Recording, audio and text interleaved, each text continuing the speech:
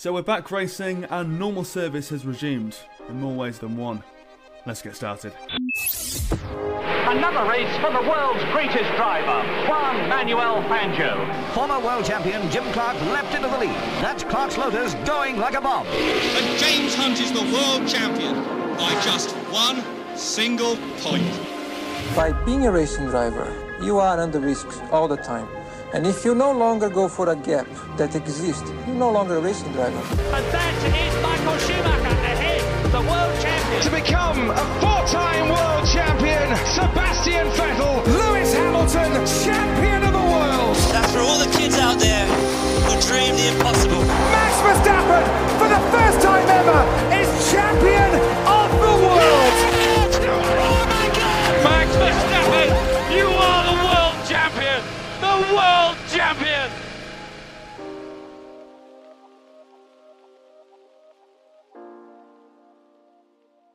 Hello and welcome to episode 27 of F1 in Review, the episode and the hour where we look back at this year's Belgian Grand Prix, that being round 14 of the 2022 F1 calendar.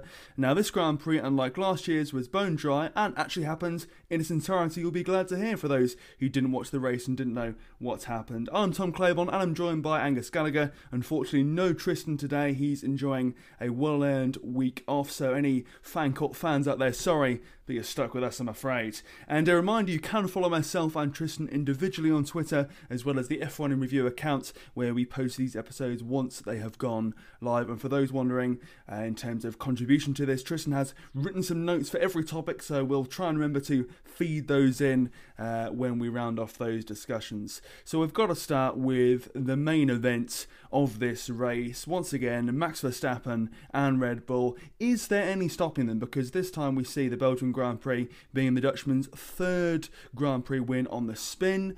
And like so many races, Max had to come all the way from P14 to win this one. He qualified top of the pile, granted, for those who watched it on Saturday, but the engine penalty he took meant he had to pass literally the majority of the field to claim this win. A task that was largely made somewhat easy, you could argue, by the Hamilton and Alonso collision, followed by one between Latifi and Valtteri Bottas.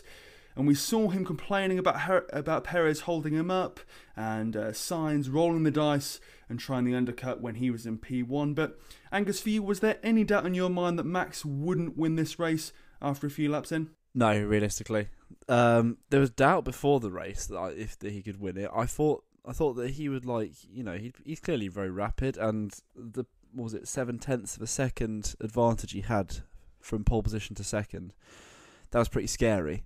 But I did think you know it's a long race. Spa you know it's good for overtaking, but there's a bit more gravel runoff these days, so it's probably slightly more difficult. Um, and 14th is a bit of a steep a steep uh, drive to come through, a steep, a steep position to come through from, unless there would be like a safety car or a bit of rain. And then on lap one, some of the field decided to crash into each other, so that was nice of them. And then other factors such as Leclerc having that tear off in his brake duct, which meant the Verstappen gained another place. And actually, you watch an onboard back of his start. He's very he's known for being a very aggressive and not gung ho, but a very sort of forthright driver. But his approach at the start was, I thought, very mature. He held back when he needed to. A couple of things went on ahead of him, and he just again just held back. Realised that he probably had by far the fastest car on the racetrack, so it would it didn't matter whether he was like P8 or P9 at the end of lap one. It wouldn't have made much difference. And in the end, it didn't because he absolutely smoked them. He absolutely destroyed the field. Um, like after a few laps, it was quite clear. Like maybe it maybe after lap five or six, when the safety car's gone in, and he's passing cars at one a lap. It's kind of like, well, he actually might win today. And then the fact that he got into the lead on lap 18 under half distance, despite starting 14th, was ridiculous, really. And in the end, his winning margin of 18 seconds could have been more. He realistically has like slowed the car down to make bring it home and make sure that you know nothing untoward happens. But yeah, it's um mate dominant, like ridiculously dominant, and any hope that Ferrari may have had of clawing back this championship, I think may have just been extinguished in those 44 laps because yes, whilst the, the advantage may not be that big at every race, clearly there is an advantage. Red Bull have found something. They're talking about bringing in a chassis later on in the season to fit within the budget cap, which would be four kilograms lighter, thereby gaining about tenth of a second a lap.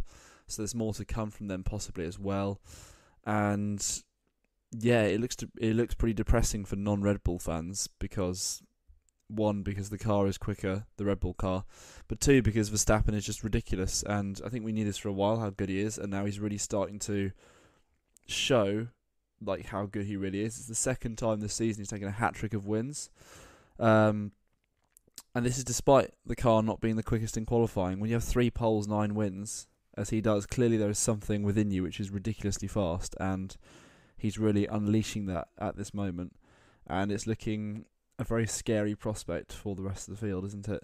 Absolutely, yes. And uh, Tristan said, in terms of notes for this, he kept this one very brief. He said, "quote Verstappen is now unstoppable." You've already hinted at your answer in regards to that. Do you think there's any way that Leclerc Sainz another car can beat Verstappen? Can his teammate do it, or is it simply his to lose? Unless there's huge reliability issues. The only thing that could stop Verstappen now is like, a, like, and obviously you never want this to happen. Something which would injure him, like a crash that would t- like injure him and like make him sit out for a few races. Because then you'd have guarantee that he wouldn't be taking points in that car. But but again, he's not going to have three, four retirements in a row. That's that's extremely rare. So it would have to take some untoward, like outside circumstances, unseen circumstances, to actually give anyone a chance. Because he's so far ahead now, 93 points, and there is literally only does quick maths, about 200 points left on the table. He he's almost like halfway to the points advance. He he's almost halfway to the number of points which are actually left in the season. So, like, I think anyone can be ruled out of the championship now. It's only a matter of time before he manages to wrap up that second world title. And at the same time, we had Toto Wolff saying, "I reckon he could do it uh, by the end of the European section of the uh, of the of the season. Not strictly true. It's a bit of an exaggeration, but at this rate, he is definitely like looking at wrapping it up with two, three, four races to go. Such is his advantage over the rest of the field, and such is his dominance. Mm-hmm. And we're seeing the Red Bull car there uh, being so quick, so much quicker than the Ferrari as well.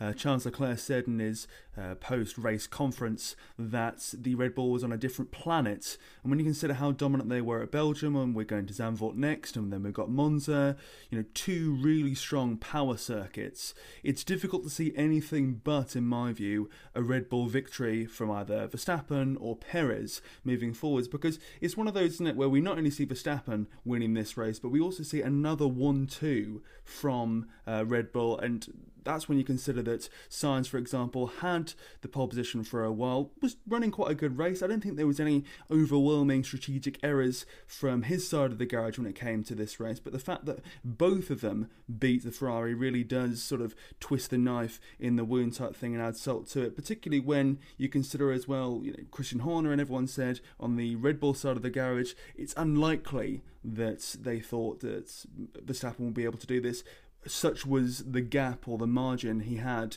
to make up from P14 to P1. If you look at how his race has gone, 14 to first, and then you look at how the race has gone for uh, for Leclerc, obviously had some separate issues and unforeseen ones, but P15 to P6 just shows really how when your luck's up and your luck's out, they really can go in two separate directions for you. And do you see this as Ferrari? Missing a beat, as losing an opportunity because they came out of the block so well uh, compared to Red Bull and the Red Bull powertrains. Of course, they had those issues, the Red Bull powertrains, not only the works car but also the AlphaTauri car. Do you think that Ferrari have failed to capitalise when they had the advantage and only have themselves to blame, or have really Red Bull gone into a league of their own and there's nothing that Ferrari can do, irrespective of the upgrades they bring now and moving forwards? I'd say that they haven't missed a chance because, like, the advantage they would have had to cl- they would have had to claw back anyway. I think would have been too big. They've missed a chance to be closer. I think that's the key point. But in terms of a chance to actually win the championship, not necessarily because that Red Bull car has just become supreme in recent races.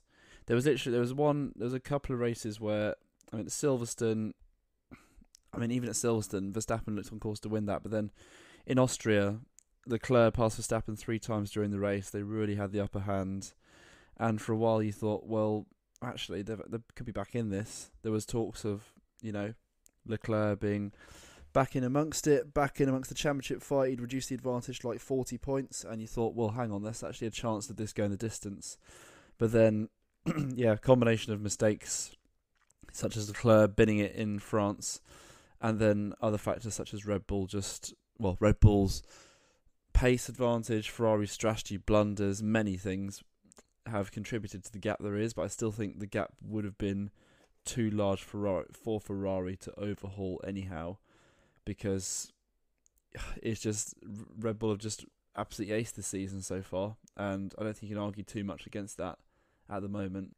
Stranger things have happened, but I think this would be too strange for any of this to be turned around at the moment. Yeah, I have to agree. When you consider that the gap between Verstappen and his teammate is nearly 100 points as well, and we've seen previously with Mercedes how a championship can be managed in the favour of one driver over another, it does make you think that a real raw battle for the uh, World Drivers' Championship of this year is dead and buried compared to the ones gone by. And we have seen with Ferrari improvements in some regards, I think it's fair to say, from strategy. We were discussing before this that the strategic errors weren't as huge, but then again, they did still happen. And it's one of those where even after so many weeks uh, of a summer break, and we were told there was no need for changes when it came to the Ferrari garage, but there still seems to be issues there as well, doesn't there? Which makes the gap even bigger because we saw towards the end the decision to pit Leclerc on one of the final laps to give him a chance to get the fastest lap. You know, a good idea. Gets a point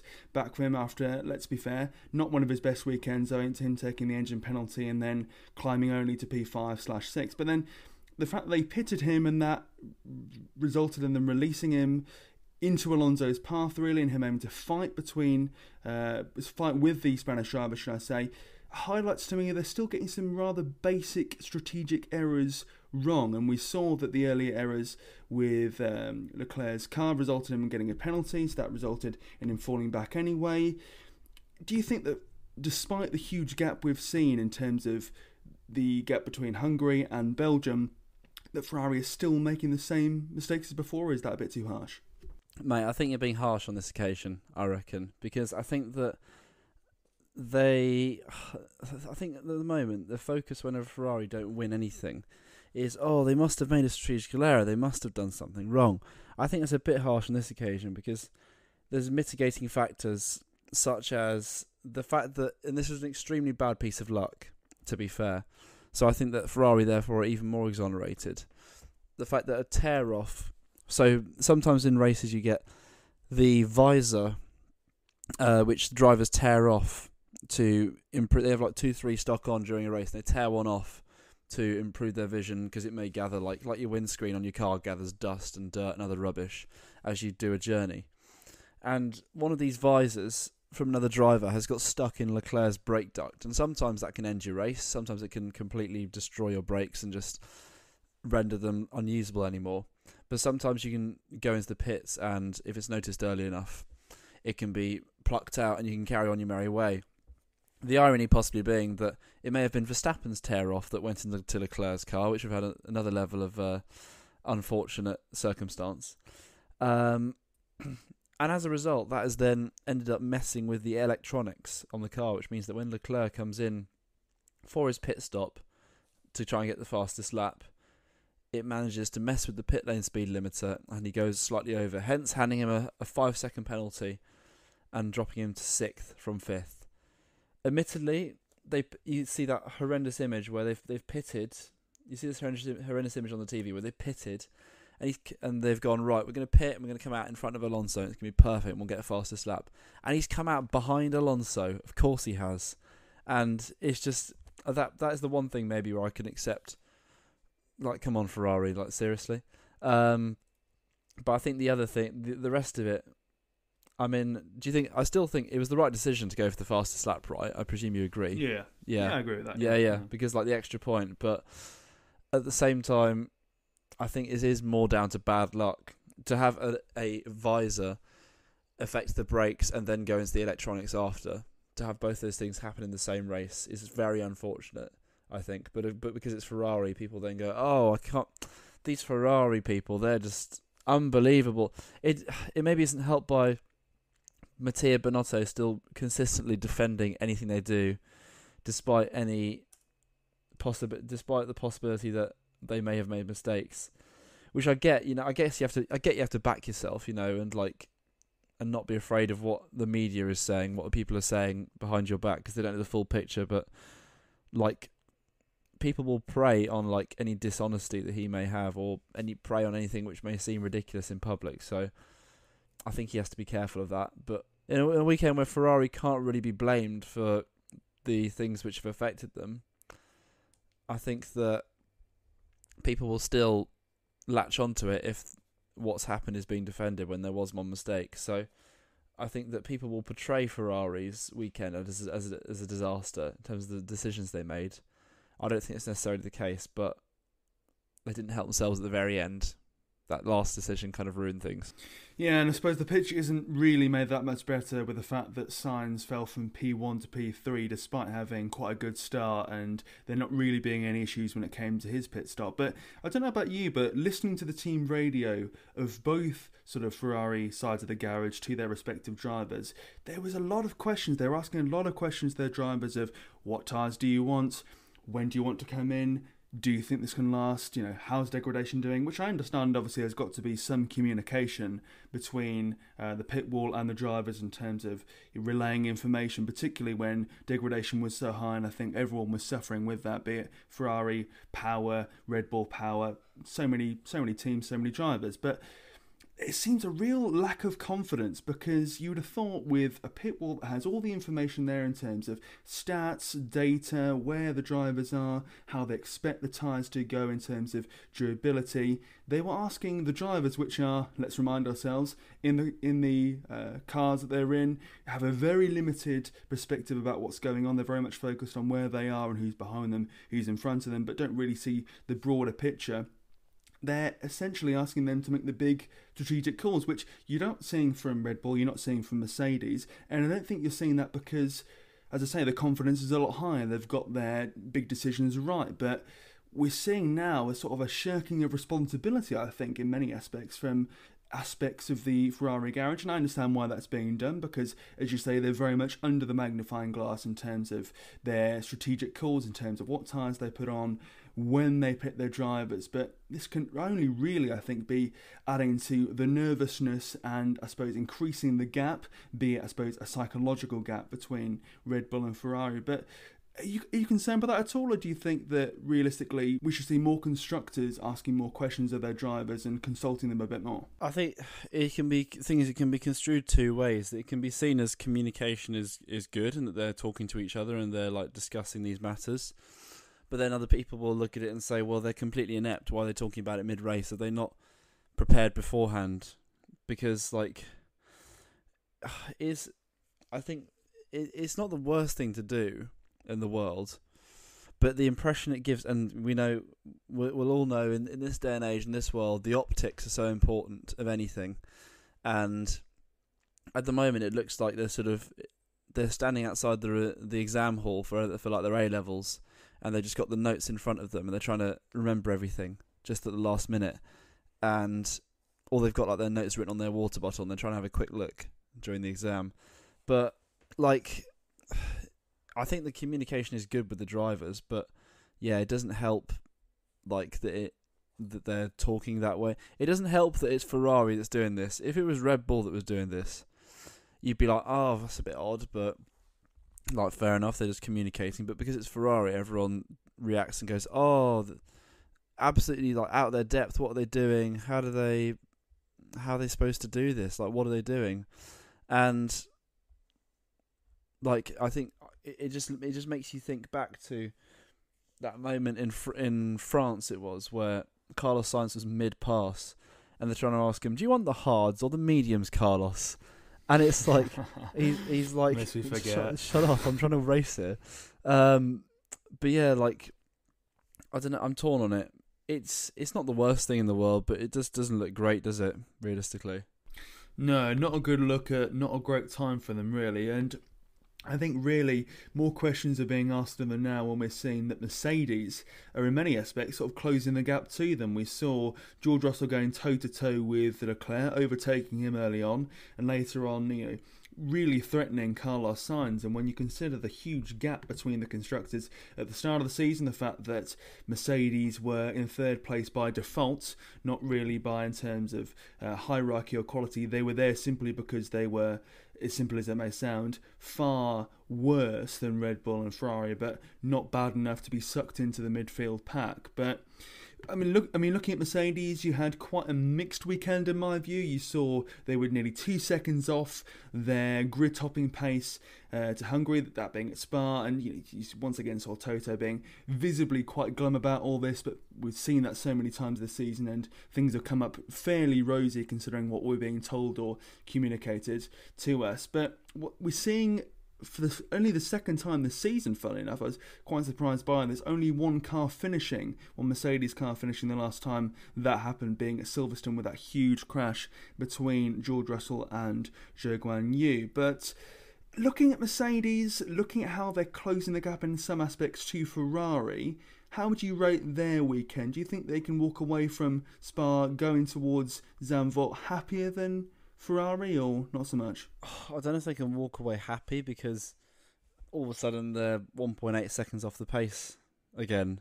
And this was a weekend where, you know, things seem to be seem to be falling into place at first. Like they seemed like, you know, you had a couple of you had a, you had a couple of cars with grid penalties, as in two of their main rivals. You had a circuit which we've talked about a few times. On paper, looked like it would be beneficial for them with the long straights, with the the fast corners, with the smoother surface. You know, with with Spa as well being resurfaced and refurbished over the last year, and you thought, right, this is Mercedes' chance chance come for pole and a double podium in Hungary as well, double podium in France. You thought, right, come on, this is it. This is your chance, Mercs. This is you could get a race win here, and then they were just rubbish they were just like like the qualifying was really disappointing for them to qualify in the end behind both the Alpines and only and George Russell in eighth was only half a tenth of a second ahead of the Williams of Albon. Don't get me wrong, Albon did a stonking performance, and we'll get on to him later. But like Mercedes, got to be doing better than that. Especially if we're comparing it to the Williams, that's a car which has a Mercedes engine, so therefore that that half a tenth a second is literally a car aerodynamic difference, which doesn't reflect well on the the main team, the Works Mercedes team, very well. So I don't think they can be happy with their weekend. Hamilton, like he's admitted afterwards, he made a mistake with that collision with Alonso. Um, it's very rare we see first lap retirements for Hamilton. It was only his fifth one in his whole career, interestingly. Um, and strangely, three of those have been at Spa, so that's a weird, uh, weird coincidence. But yeah, yeah, exactly. But um, yeah, strange collision because there wasn't room on the outside. He went in on Alonso too hard. I'm amazed that Alonso didn't get more damage. We saw see, see how much Hamilton's car literally launched into the air, and Alonso got away with it basically with minimal car damage. Um, and yeah, that was Hamilton's fault. Like it was a too optimistic. He's admitted so. He apologised. So he's going to be disappointed, of course, at the weekend. But I think Russell as well, like not finishing too far off Sainz, and a good distance ahead of Alpine as you'd expect. But Mercedes's very high expectations aren't. They don't like finishing just a couple of seconds behind Ferrari and well ahead of Alpine doesn't cut it for them. They want to be aiming for those higher places, and rightly so after the success they've had over the last almost a decade. So I think they'll be disappointed. I think on a circuit where it looked promising for them, they've come away with with diddly squat basically in comparison to what they they want or have had in the recent races, and they're lucky that Ferrari didn't gain too much ground on them. If we're talking about the battle for second place in the constructors' championship, so, like going forward, they'd hope for a lot better. But you'd say the more and more that Red Bull looked dominant, and the more and more that Mercedes looked further off than we expected, it looks like the chances of a race win may be dwindling. We hope not, because we want that variety, and we think it it would be great for Formula One to see Mercedes. Who who knew? Who t- who who'd have thought that a year ago? If you told me a year ago, I'd be sitting here saying, "Oh, it'd be great to see Mercedes win a race again." I wouldn't wouldn't have believed myself. wouldn't have believed that I'd be saying that. But I think that we'd be we think that right now, but at the moment it doesn't look likely, does it? No, no, not at all, not at all. And I think really looking at the two next Grand Prix coming up, Zandvoort and then Monza in Italy, two very similar circuits to Belgium. And when you consider that their forte seems to be at street circuits versus power circuits, look at how well they jet Hungary in terms of pace there versus Belgium. I think you can say with some confidence that they're unlikely to be getting their first race win at either Zandvoort or Italy. I think they could have a chance in Singapore, for example, looking further towards the end of the calendar, somewhere like maybe Mexico, they could have a chance as well, but they're running out of options, really, or opportunities, in my view, where they could go and get their first race win. And I refer everyone back to my previous comments where I would still be shocked, really, if Mercedes don't win a race because we've seen previously in so many seasons and series and years of Formula One, there's always been one or two races where there's just been a complete shock. So, you know, take Monza for example, where Daniel Ricciardo won that one, where Esteban Ocon won a race as well. There's always one where someone just comes a bolt from the blue and wins a race, and we're yet to have that really, which makes me think: Are we due that come you know the next few races towards the end, or is it going to be a, a year of Formula One similar to the Vettel dominated years with Red Bull, where ultimately we just see the predictable happen week in, week out, with very few exceptions, really. But it's been a weird weekend for Mercedes because I think the best way to describe it for me personally would be they've salvaged it because Saturday, as you said, was pretty awful. P7 and P8 finishing just above a Williams is really harking back to how they started off this season, really, and we know how disappointed they were with that and how everyone was really there. So the fact that they were able to go and get George Russell finishing so highly in terms of the fact that he finished P4 and was knocking on the door of the podium is testimony really to how well Mercedes have done in terms of turning really poor qualifying days around and converting that fairly well in terms of in terms of races. But I, I have to agree when it comes to your views on the Hamilton Alonso collision there. It was very uncharacteristic of him to be quite naive, really, there, because there was no doubt that it was his fault. He admitted to it, but yeah, the reaction of Alonso, him blasting down the radio, what an idiot. This guy only knows how to drive and start in first. really shows that there is no love lost between those two after so many years of calling off and being in separate teams. But um, yeah, I was impressed really by the pace of Alpine, uh, Alonso and Ocon. Ocon doing two double overtakes. That was you know quite remarkable, really. And you look at the Grand Prix coming up the circuits there, and you think Alpine, if they get their ducks in a row, really could have a very good weekend, and I think maybe could even get on the podium and beat Mercedes pound for pound if everything goes their way. But we'll see in that regard. But um, but yes, an interesting one for Mercedes. They're closing the gap to Ferrari, but I feel that Ferrari are sinking back more to their level more than Mercedes are propelling themselves forward to joining, I suppose, the big two at the moment. I still do believe that them not getting a race win would would be disappointing, really, and um, I suppose we're looking once again at someone like George Russell doing so well in terms of a P4. No, he's finished once again no lower than P5.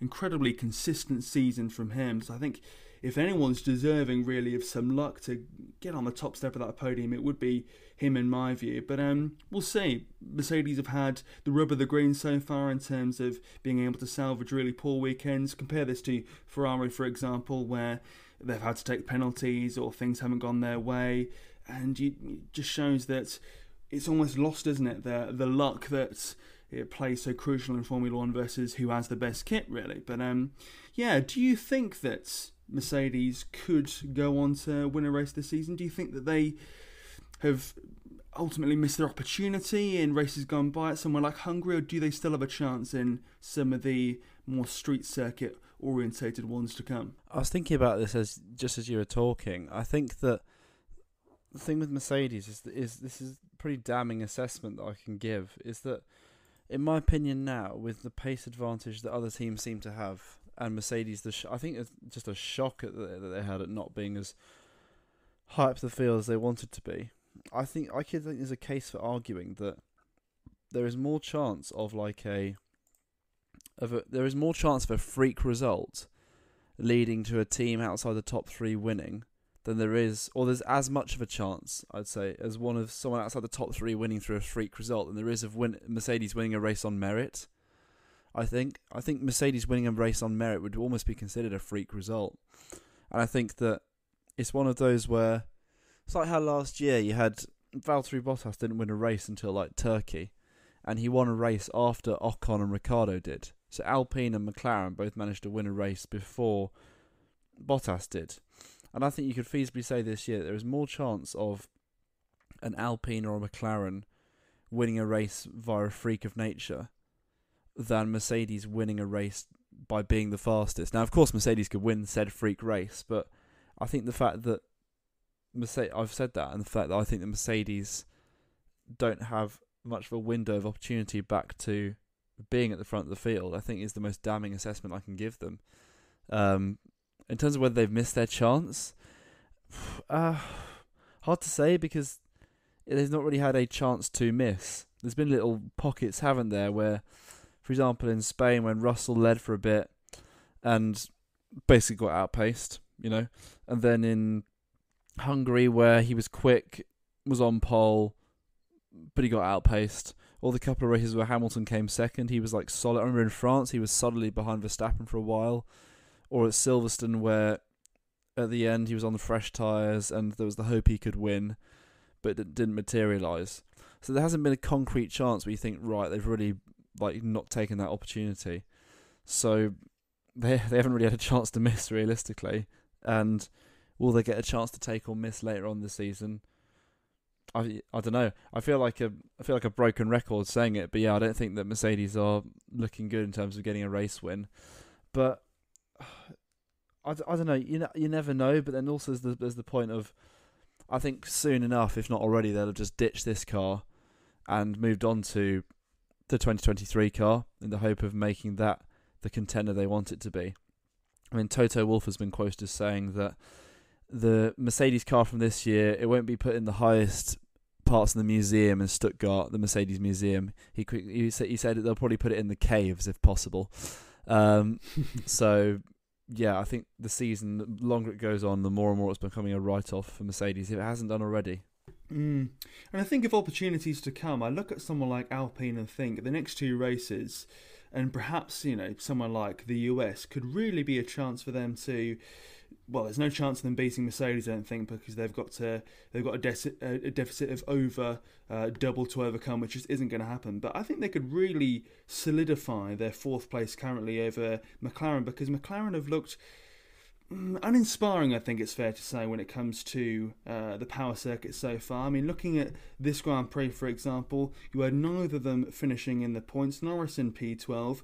You've got Daniel Ricciardo being quoted as looking like a broken man by some commentators, and he was down in P15 things aren't looking too hot for them, I don't think it's fair to say. Meanwhile, you've got Alpine, which Yes, you've got Alonso moving on, but a P5 for him, a P7 for Ocon, the double overtake there. And when you consider that Alonso was able to go and get this after, you know, I think it's fair to say some damage at the very least to car is a testimony to how good he can be and the quality he has moving forwards. He's quoted as saying that Aston Martin will get the best Fernando Alonso ever, which I take with a pinch of salt, but he's at least showing now, at least, that he has the ability to go toe to toe with some of the best racers on the circuit and and do very well. He was battling Charles Leclerc there towards the end, which shows that in terms of the power circuits, the Alpine can take the fight to Ferrari he took the fight very much to uh, Lewis Hamilton and Mercedes, and yes, he wasn't able to overtake George Russell, but he wasn't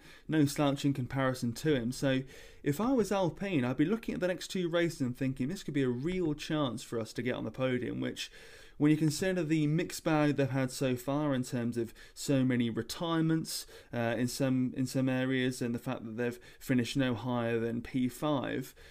Do you think that they could get themselves onto the podium, or is that the freak incident of Formula One 2022 that we're perhaps hoping for, the one that's yet to come. Alpine can get themselves on the podium, I think. I mean, they got themselves on the podium last year in a weaker car. I think the fact that we've seen Alonso and to a certain extent Ocon perform strongly so far this year means that there's definitely, you know, a chance that they could get that podium. If I compare it to last year, Alpine got in the 2021 season got 155 points across the season, which is pretty good in 22 races. And this year they got 115 after 14 of 22 races. So you'd say they're almost on, they're probably on track to beat last season's target. And last season, of course, they got that victory in Hungary and uh, Alonso's podium in Qatar. So the chances of them having a strong finish and getting some more points on the board, getting some more points which would enable them to, you know, stretch their lead over McLaren, who you're right, I think look a bit, a bit drab at the moment. I think Ricciardo's announcement that he's left is kind of like whether that'll give him a lease of life at the end of the season. I think it'll get it'll be the opposite. I think that he will. It could easily just make him completely demotivated. It can be like we've all had sometimes where we know we're leaving a job, and for the last period before we leave that job, we're sort of like a bit demotivated. You're thinking, I'm not going to work for this company again. It doesn't mean that you don't want to try hard, but you still would. But it just doesn't translate into what you would necessarily want, you know. Um, and also the fact that their car is definitely looking slower than Alpine's. Alpine look more likely to challenge Mercedes than they do to be sucked in by McLaren or anyone else behind. So, you know, that means that you think there's definitely chances for Alpine to get on the podium. I mean, they've only had, I say only, they've had a highest finish of fifth so far this season, which has got they got three times. And you'd say that there's a chance for them to improve on that realistically. You often get the odd late season race where something happens or a strange result comes out of nowhere or it's like something can occur like we saw uh, at, at last season at Jeddah I think it was when Ocon came fourth I think yeah he came fourth and he was like beaten on the line by Bottas but it was, it was a bit of a strange race there were a few incidents but he kept himself in and around the top placings and he managed to get fourth in the end so you know, there could be the odd race where, like, like a described as a freak race, or maybe we're going back to Singapore. Maybe that's like the it's the first time we've been there in three years. Maybe the like driver, maybe everyone, maybe everyone crashes. I don't want to put it like that, but maybe like we have a instant filled one, or somewhere like Suzuka where sometimes you get a bit of rain.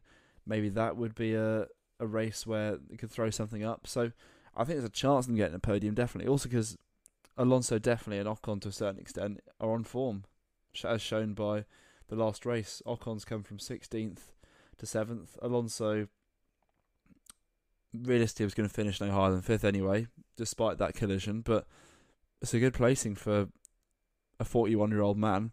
So, you know, chances are, yeah, podium could be in their sights, you know.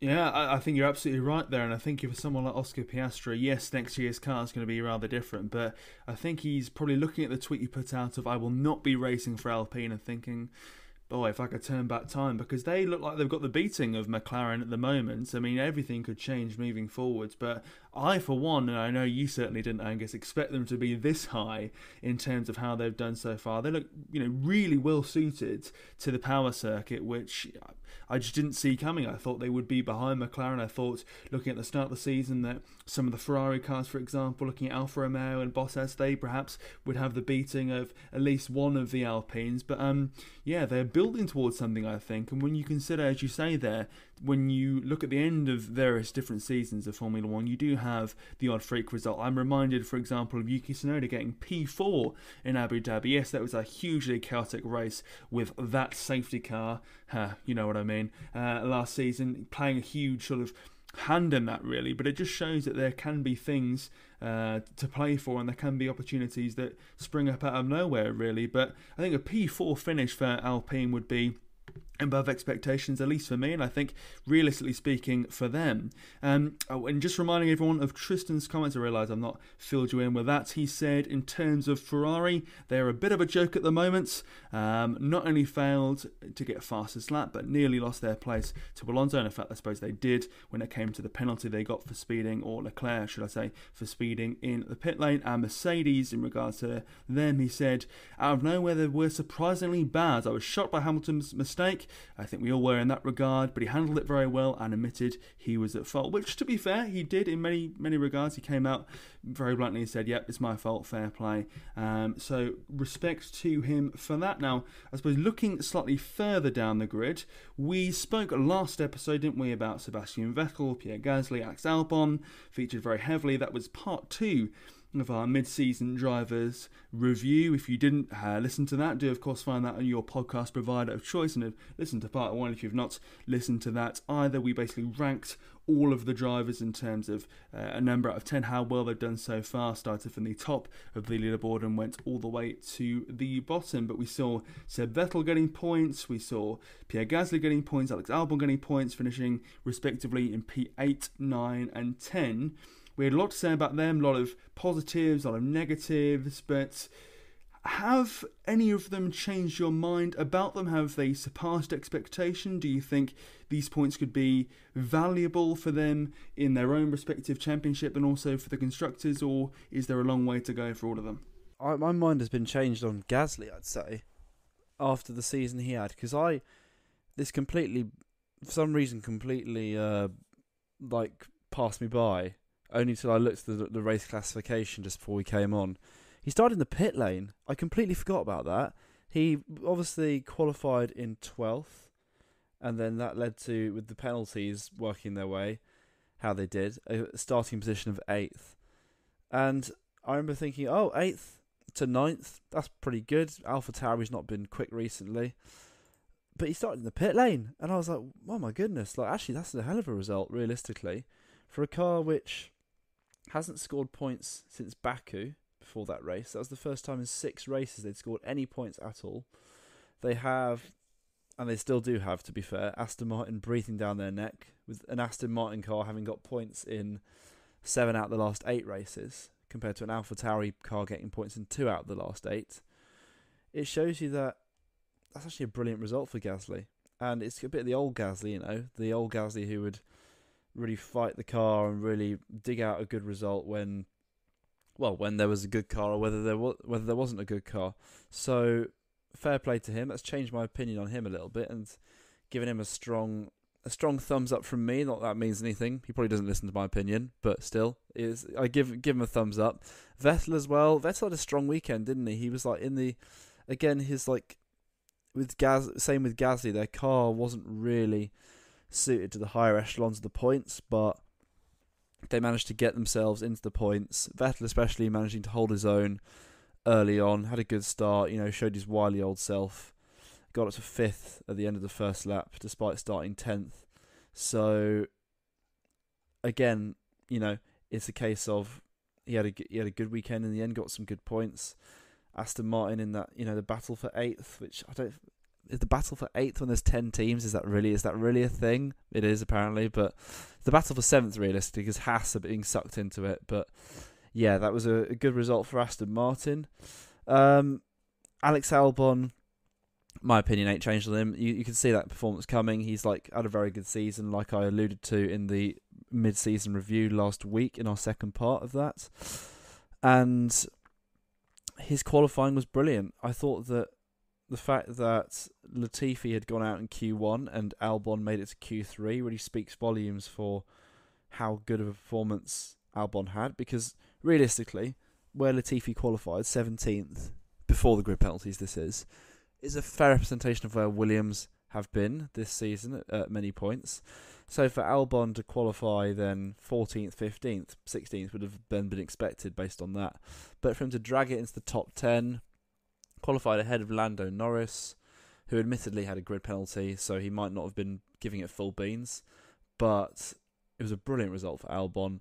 It in the end meant a starting position of sixth, which is like hope hope that he wasn't getting too dizzy up there. You know, it's giddy heights for those those Williams boys and girls. Um, but no, for real, like a brilliant performance, and for him to again maintain that position in a race where he's finished ahead of Aston Martin, who've looked better recently, ahead of a McLaren, who are definitely better than them, and also the second Alpha Tauri and Tsunoda. Those are the three cars closest to him, and that meant that ended up being a very good weekend for Albon. Which, again, I'm not surprised personally because I think he's had a great season, and it was just a case of obviously he hadn't had points since Miami, but that's a difficult car to drive that Williams. So, and they are going to finish last in the constructors. So, unless some freak event happens, so the odd point here and there will be beneficial for them. Did your opinions change on any of them? Do you reckon after these results, these point scores that these three managed to achieve? Oh, well, I think that Seb Vettel once again showed that while he's gracefully departing from the sport, he's hardly lost his edge in terms of navigating what is, let's be fair, not the best car on the grid to a good points finish. Yes, he qualified in P10, and that was helped by the penalties that different uh, cars had, but still, you've got to convert that and to get that above an AlphaTauri, I think, is an achievement in itself. To get that above, uh, well, two AlphaTauris actually, for that matter, two McLarens and an Alfa Romeo as well. I mean, that's no mean feat, is it really? So I wouldn't say my opinion has changed on Vettel, but he's reminded us all how good he still is and how valuable I think he is moving forwards for Aston Martin, at least for the remainder of the season. Because you're totally right seventh place is up for grabs, really. Haas could easily get sucked down into this and get sucked all the way down to P9. There could be a real sort of, you know, rotation of uh, P7, 8, and 9, that being Haas, AlphaTauri, and Aston Martin at the moment. So, really, all to play for there. Um, I mean, Gasly, I think, well, I've had a bit of a reflection on this, and I was a bit critical of him last race. I thought they hadn't really done enough to wow other constructors and show them why he deserved to break away from the Red Bull Academy, which he still is constrained to, in my view. I think it's no secret that he's not going to get a chance in the Red Bull Works team anytime soon. So his best hope is that either A, AlphaTauri produce an absolute barnstorming car, which they haven't done this season, and I don't think they'd like to in the future, or he breaks that and goes out to another team. And I think this performance with him finishing uh, in P9 really does show to Alpine, which the rumours say he is on their shortlist if the Piastri situation goes south for them. For those who don't know, we're recording on Monday when they're meeting regarding uh, their meeting with the respective contract boards, and we should find out fairly soon, or get at least a, a hint of how that decision will go in terms of whether Alpine are in the right saying that Oscar Piastri is their driver, or whether Piastri has a case saying actually no, uh, I have the freedom to go elsewhere.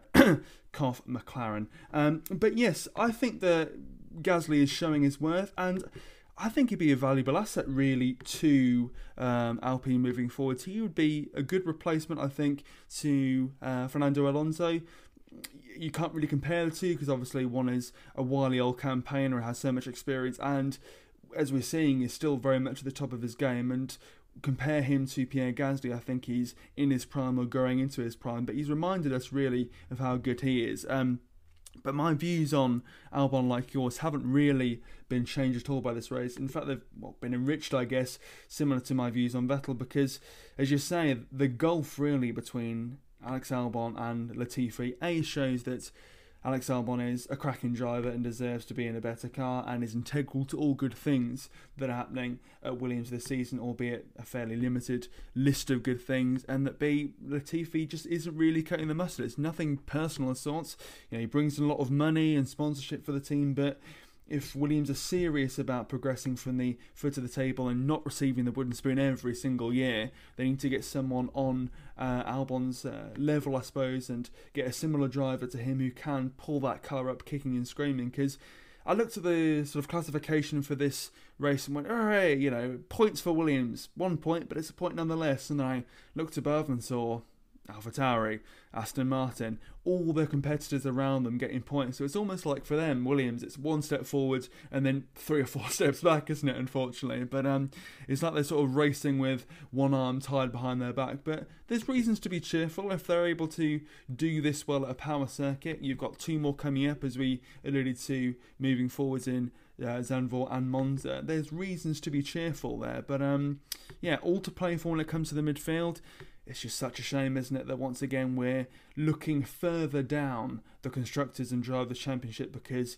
it seems that the top of it is completely sewn up. But hey, you know, it looks fairly competitive down the bottom. We're seeing the regulation changes working wonders in many capacities, insofar that it's so competitive down there. Um, they can race so much closer than before, and it really is anyone's game moving forwards. But um, I think, yeah, there's going to be a big few races coming up for Haas because they've looked pretty uninspiring recently. You look at their last three races, that being France, Hungary, now Belgium, they've scored points in none of that.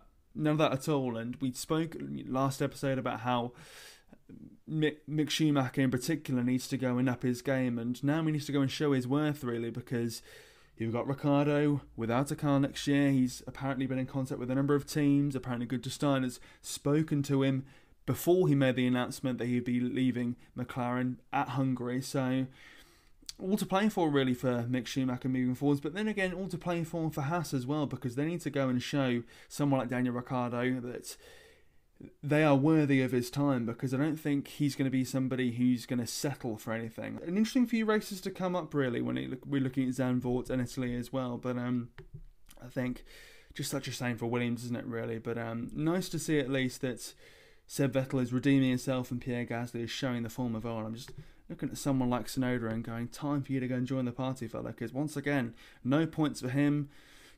P16 in the Drivers' Championship.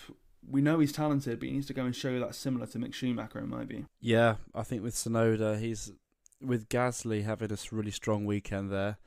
Tsunoda's been put under the microscope a little bit. Again, I think that we kind of alluded to this in our mid-season review episodes, but he had a bit he had a strong-ish start to the season. Was looking like he closed the gap to Gasly, was pumping out some good results. And then it's kind of all gone a bit back to what it was.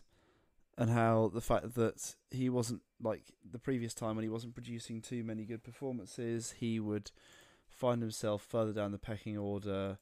He wouldn't be, and I, I almost think that it seemed to it looked worse last year when Gasly was in was like delivering results out of that car when Gasly was getting like top six, top seven, and you had Tsunoda trundling around in about thirteenth, fourteenth in the same car. But now the fact that the car is worse means that Gasly's highs aren't as well documented, and therefore it looks better for Tsunoda. But yeah, in recent races, Gasly stepped it up, and Tsunoda has looked more and more like the old version that he used to be. And again, this prodigious talent that Red Bull and Helmut Marko see.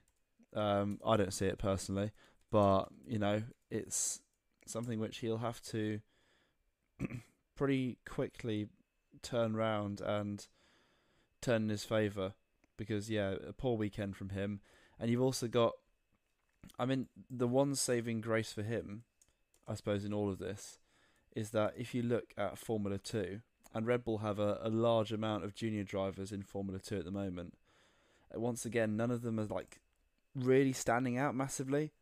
Liam Lawson did drive in FP1 in the Alpha Tauri um, on the weekend, and he did win the sprint race. But at the same time, not standing out massively, not doing anything, not sticking his hand up and grabbing the the drive by the scruff of the neck and saying, "Yes, I want I want to drive this car. You should pick me absolutely." So that may once again be his saving grace, maybe the thing that saves Tsunoda. But yeah, looking like another interesting weekend. Interesting, not in a good sense. I mean, um, from his side. Yeah, absolutely, and I think that's highlighted even further by not only Pierre Gasly starting in the pit lane, but we also read he was 90 seconds away from not even racing because of electrical problems with his car, and the car wouldn't even switch on. So, literally, all those obstacles being thrown at him, and there he is finishing in P9 versus Tsunoda, which had who had a smoother weekend, I think it's fair to say, finishing in P13. Now, I suppose there's nothing inherently wrong with that when you consider that a talent like Lando Norris was only one point ahead of him, but you do expect a bit more of him because we know the talent's there where there was a lot of faith uh, placed in him with the fact that he was uh, pushed into Formula One and uh, replaced Daniil Kvyat immediately after winning F, uh, F2. But in my view, it's not really paying off or it's not really paying dividends so far. And I think looking forwards to the second half of this season, he's somebody who's got a really big point to prove. I suppose the only saving grace for him, or one of the saving graces for him, is when you look at the fact that he scored points on three occasions so far this season, and the points have been at different racetracks, i.e., not just power circuits but also street circuits. We've got Spain in there, we've got Bahrain, we've also got uh, Imola as well it's he's not in a situation where he's going into Zandvoort or going to, into Monza thinking, well, this is one of the only chances I've got because the car is only suited to a power circuit, for example. Pierre Gasly's shown it is very much suited to a power circuit of sorts, but I suppose looking at the track record of AlphaTauri, they can get points elsewhere. So the gig isn't up, but I think you know the door is closing in many aspects because when you consider that, well, in terms of races left, there are eight you've you've got to think to yourself, you've got to start getting some points now, otherwise the question marks just get bigger and bigger. Um, but as you say, he is helped by the fact that there is no Tsunoda 2.0 for Helmut Marko and Co to say, right, so you can have a go. So, yeah, he's got time to bet himself in, but there will come a point, won't there, where another Tsunoda appears, someone else in Formula 2 bursts up the block, uh, and is of the Red Bull Academy. So, hopefully this will be a season anomaly in, insofar that this will be quite an underwhelming one, but this can't be the norm really. If Yuki Tsunoda wants to one day get into the Red Bull Works team or wants to really show um, AlphaTauri and the Red Bull Academy more generally why they were right to put him in their car. So yes, as we've been hinting to throughout this episode, round 15, the Dutch Grand Prix at Zandvoort kicks off at the end of this week. It's a power circuit, as we know, so in my view, I'm looking at someone like Red Bull, unsurprisingly, Alpine, unsurprisingly, and perhaps Ferrari, and thinking they could be in for a good weekend if all things go right in their direction. We had uh, engine penalties being taken by Ferrari and Red Bull, so we're looking at a more, I suppose, traditional grid for the start of Sunday. And I'm looking, I suppose, on the other side of the coin at Mercedes, at Haas and McLaren, and thinking this could be a weekend to forget or one where they've just got to accept they won't be getting bucket loads of points at least. But um, that's my snapshot of what's to come at Zandvoort. What about you, Angus? Do you largely agree with that or not so much? Yeah, I'd say I agree overall with that. Um, in terms of yeah, more traditional grid, and also one one memory I have from last year at Zandvoort was around the return of the race after no Dutch Grand Prix for 36, 36 years or something like that, and the fact that for the first time ever there was a competitive Dutch driver who was at the front of the field in Formula One, and it really led to like a party atmosphere, helped by the fact that Verstappen smoked the rest of the field and won quite comfortably in the end. But I think that's the point. He did win quite comfortably, and it didn't lead to a very interesting race, and one where it was a race where overtaking was tricky, shall we say. So I think this we we t- spoke earlier in the season a lot about tests of the new regulations and the new um, cars and their ability to follow each other. I think this will be another one this weekend because if it was to follow the previous years and follow form, it would be another race with lack of overtaking. But we'll have to see if that was the case. I was taken aback because I was looking at last year's Dutch Grand Prix and I saw that Antonio Giovinazzi qualified in seventh. How? I, I, I did not remember that happening, but that is quite incredible. Um, it must be fact. It's written in front of me, so you know. Um, but yeah, I think it could be interesting to see. I've definitely switched lots of people off there by saying it's going to be a boring race, but stick with it. Trust me, stick with it. It could be a very interesting race. Um, especially if I know I said this about Spa and it didn't turn out to be the case, but I've looked at the weather forecast for Zandvoort, Netherlands, and scattered showers are on the menu for both Saturday and Sunday. So it definitely won't rain now after I've said that. But we can dream. We can dream. Um, but yeah, it'd be interesting to see. I feel like Max will win again. He could dominate again. I feel like the home crowd, a bit like how Hamilton at Silverstone is spurred on by the the British fans, the Dutch fans, the Max Verstappen arm, the Orange Army could drive Verstappen on to another victory. But we will see. It's a quick turnaround.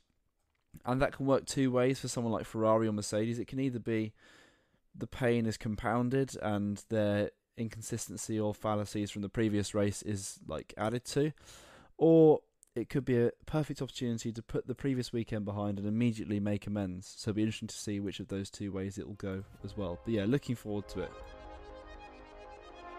And it seems that's all we got time for in terms of episode 27 of F1 in Review. Thank you very much for listening all the way to the end of this episode where we reviewed a rather different Belgian Grand Prix 2022 to the one we had last year, lest we forget. Thank you very much for tuning in, be that on your preferred podcast provider or whether you've listened live or via the listen back feature on River Radio. Qualifying starts at 2pm on Saturday, and that's British summertime, and then the race is 2pm as well on the Sunday, British summertime and we look forward to reviewing the highs, lows, the questions, and what's to come really of this season, next season, and everything in between. But thank you very much for listening, and we'll see you this time next week. Bye bye.